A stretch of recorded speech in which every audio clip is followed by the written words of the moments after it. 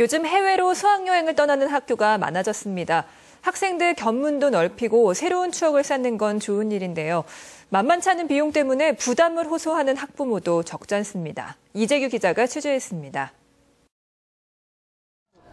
춘천의 한 고등학교. 이 학교는 2010년부터 3년간 수학여행을 모두 중국으로 다녀왔습니다.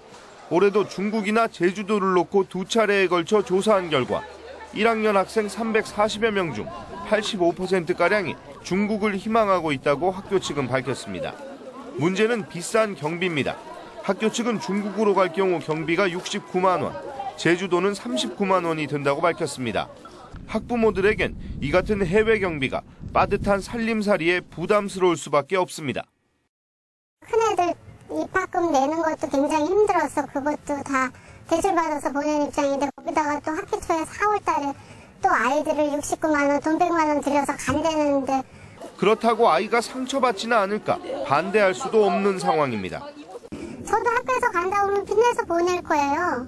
빚내서 보내고 뭐 어떻게 뒷감당은 제가 해드려도 자식 돈 없어서 안 보낼 부모가 몇 명이나 되겠어요. 학교 측은 학생들 의견을 반영하겠지만 해외여행을 할 수 없는 학생들 입장도 고민 중이라고 밝혔습니다.